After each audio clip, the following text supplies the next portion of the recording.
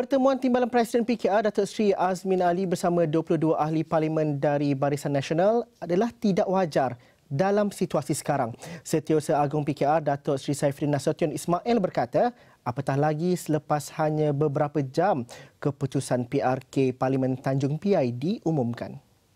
Dari sudut timingnya, saya anggap sebagai uh, sangat tidak tepat kerana ianya berlaku ber, Uh, kurang daripada 72 jam selepas uh, keputusan uh, pilihan raya Tanjung Piai yang kita anggap sebagai luar biasa, kejutan.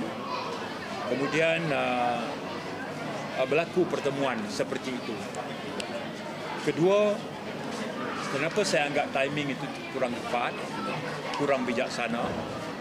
Kerana Pakatan Harapan itu adalah satu political coalition yang terjalin di atas prinsip trust and respect. Uh, secara kebetulan pada 23 hari bulan ini akan berlangsung satu mesyuarat bulanan Majlis Presiden Pakatan Harapan yang akan dipengusikan oleh Tun Dr. Mahathir.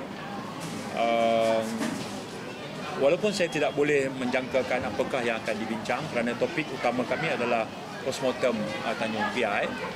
Namun uh, saya percaya jika ada mana-mana pimpinan di peringkat pakatan mahu menimbulkannya, mereka boleh saja berbuat demikian. Ya.